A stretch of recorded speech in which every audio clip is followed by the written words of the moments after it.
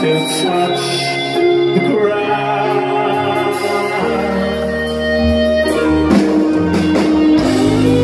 He can walk out anytime, anytime he wants to walk out. Oh,